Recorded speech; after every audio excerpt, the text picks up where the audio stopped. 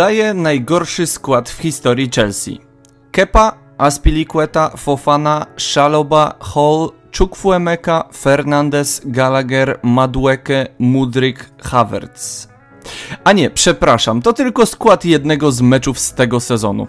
Choć nie można ukryć, że mijający właśnie sezon był dla Chelsea, zaryzykuję stwierdzenie, jednym z najgorszych w całej historii klubu. Trochę żałuję, że dzisiejszy odcinek nie ma numeru 12. Bardziej odpowiadałby sytuacji. Cześć, z tej strony Mateusz i po raz kolejny witam Was na kanale Learn Football. Dziś kolejny odcinek z serii najgorszych transferowych jedenastek i ku Waszemu zaskoczeniu nie usłyszycie wielu nazwisk z tego sezonu Chelsea. Tak, byli gorsi. Zanim zacznę, klikajcie łapki w górę, jeśli podoba Wam się seria, zostawiajcie suby, jeśli jeszcze nie subskrybujecie kanału oraz zostawiajcie komentarze z nazwami klubów, których jeszcze w serii nie było. I przepraszam kibiców Borussii Dortmund, w których tydzień temu rozbudzałem nadzieję na mistrzostwo. Z Mainz była kompletna tragedia. W przypadku Chelsea nie mogłem zacząć inaczej. W bramce Matej Delacz. Chorwat spędził w klubie, uwaga, 8 lat. Nie zagrał ani jednego spotkania. Przez 8 lat był wypożyczany z klubu aż 10 razy. Chelsea jednak dość często znana była z kupowania zawodników, których następnie wypożyczała wielokrotnie, nie dając im nawet szans na debiut i sprzedawała do innych klubów. Delacz jest wybitnym przykładem tej tezy, więc musiał znaleźć się w pierwszym składzie.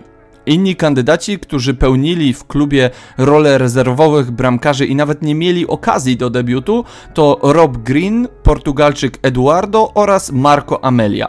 Do listy dorzucę jeszcze jedno nazwisko, obecnego trzeciego lub nawet czwartego bramkarza Marcusa Bettinelliego. Ciężki wybór miałem w przypadku prawego obrońcy, gdyż akurat tam od lat grają wielkie legendy klubu lub bardzo solidni zawodnicy, jak Cezar Aspilicueta, Rhys James, Branisław Iwanowicz czy Paulo Ferreira. Ja postawiłem na zawodnika, który obecnie jest obrońcą, prawym obrońcą w Turynie, ale gdy przybywał w Chelsea, był raczej skrzydłowym, Juan Cuadrado. Kolumbijczyk trafił do Londynu za 31 milionów z Fiorentiny i w dwa lata uzbierał całe 15 spotkań, zaliczając jedną asystę. Był przykładem bardzo dobrego zawodnika, który jednak w ogóle nie pasował do stylu zespołu i całej ligi. Pierwszy środkowy obrońca to nazwisko znane odrobinę starszym kibicom, Khalid Boularus. Holender grał w Chelsea w latach 2006-2008. Dołączył do klubu z HSV za ponad 13 milionów, a na boisku w zespole rzadko wytrzymywał pełne 90 minut. Następnie odszedł, ale kosztując już tylko 5 milionów. Jak spojrzałem na ilość spotkań, jakie rozegrali zawodnicy, których brałem pod uwagę w linii obrony, Bularus był jednym z sześciu z gangu 20 meczów, rozgrywając 23 spotkania w koszulce The Blues. Drugim środkowym obrońcą jest Papi Gilobogi. Pozyskany z Nantes zawodnik w Chelsea spędził tylko rok i rozegrał jedno spotkanie. Poziomem zdecydowanie odstawał od całego zespołu, do którego trafił za 3,5 miliona. Jedynym sporym plusem dla Chelsea był fakt, że naprawdę sporo na nim zarobili, gdy odszedł do Sunderlandu za 9,5 miliona. Inne nazwiska na środek obrony, które miałem na liście to Tal Benheim, Tomasz Kalasz, Matt Miazga i obecny gracz wypożyczony z klubu Malan Sar. Czas na lewą obronę, na której ląduje aktywny gracz Chelsea, choć może mało kto już o tym pamięta. Abdul Baba Rahman. Gańczyk, choć jest w klubie od 8 lat, zaliczył do tej pory tylko 23 mecze dla drużyny, będąc siedmiokrotnie wypożyczanym do innych zespołów. Dla mnie transfer kompletne nieporozumienie, zważywszy na fakt, że płacili za niego aż 26 milionów euro. Na lewej obronie miałem też nazwisko Filipe Luisa Kazmirskiego, który za 20 milionów trafił do Chelsea z Atletico, po czym po roku za 16 milionów do Atletico wrócił, ale jednak miał podobne statystyki do Ramana przez rok gry. Pomoc zaczynamy kolejnym lubującym się w wypożyczeniach z klubu zawodnikiem Marco van Hinkel. Holender również w klubie spędził aż 8 lat, lecz dla samej Chelsea rozegrał ledwie 4 mecze. Za transfer zapłacili Vitesse ponad 9 milionów, kiedy Vitesse było jednym z partnerów Chelsea, do którego często wypożyczali zawodników. Chyba sporej części tych transakcji The Blues do tej pory żałują. Drugi w linii pomocy jest mistrz Anglii sprzed 7 lat, Dany Drinkwater. Po sukcesie w barwach Leicester pomyślał, że pora zmienić klub na taki z większą renomą. No i później wszystko zaczęło się sypać. Rozegrał 23 mecze we wszystkich rozgrywkach przez 5 lat, będąc kilkukrotnie wypożyczanym, a trzeba jeszcze przypomnieć, że zapłacili za niego aż 38 milionów euro. Ostatni w linii pomocy możliwe, że najmniej znany kibicom piłkarskim zawodnik Nuno Moraes. Portugalczyk dość dawno grał w barwach Chelsea, ale zasłynął tym, że będąc przedstawicielem klubu przez 3 lata zaliczył zawrotną średnią 3 meczów na sezon. Na szczęście dla Chelsea piłkarz nic nie kosztował. Czas na kilka nazwisk, które również miałem w obwodzie.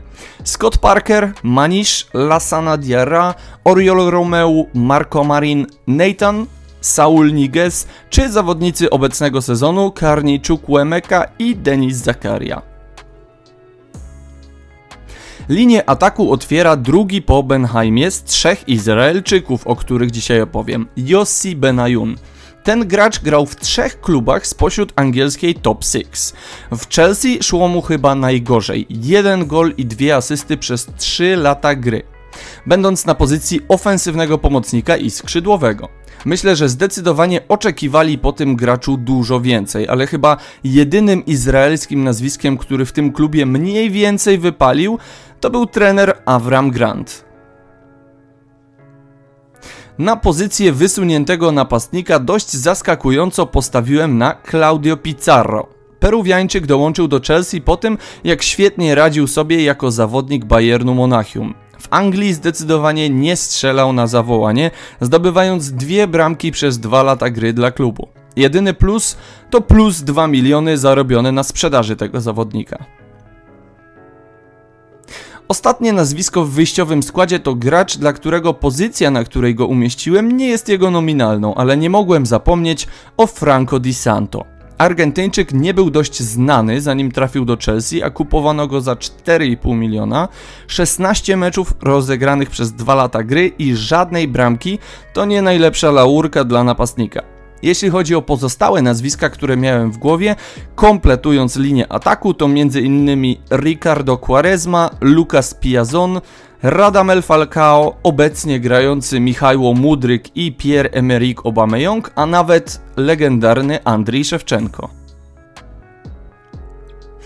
Pora na ławkę rezerwowych. Pierwsze nazwisko to inny Argentyńczyk Gonzalo Higuain. Choć był w klubie na wypożyczeniu, za to za wypożyczenie zapłacono 8 milionów, a odpłacił się jedynie pięcioma bramkami przeciwko zespołom z samego dołu tabeli. Obok ostatni z Argentyńczyków Juan Sebastian Veron. Był już na tej liście w przypadku Manchesteru United i jest i tutaj. W Chelsea było nawet gorzej. 14 meczów przez 3 lata gry, ogromna ilość kontuzji i strata blisko 20 milionów na samych transferach.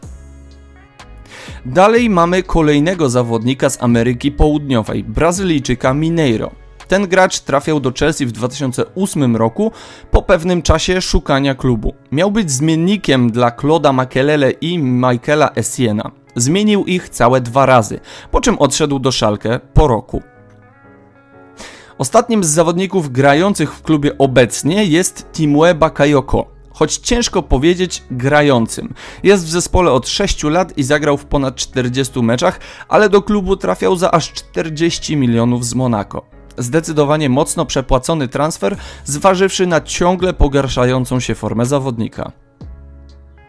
Ben Sahar to trzeci ze wspomnianych wcześniej Izraelczyków. Dwa lata gry w Chelsea, pięć meczów bez gola, bez asysty. Odejście do Espaniolu za milion w 2009 roku i szybko o nim zapomniano.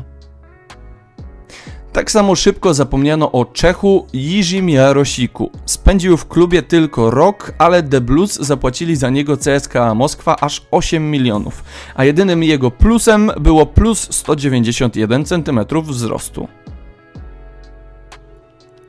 Zanim podsumowanie, oczywiście trener. Nie mogło być innej decyzji. Graham Potter, który w tym sezonie, zwłaszcza w rozgrywkach ligowych, bardzo mocno zawodził.